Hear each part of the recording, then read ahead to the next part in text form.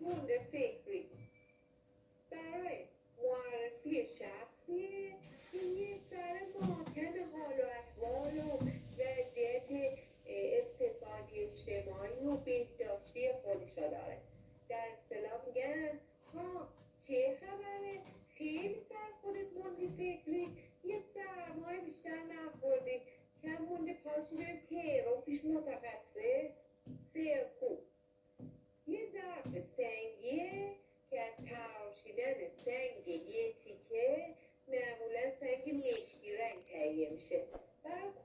مواد غذایی در اصطلاح میگن امروز برای شام کباب گوشت ریختن تو سرکو کوبیدن و با چیزهای دیگه قاطی کنم چرخ گوشتمون خراب شده بود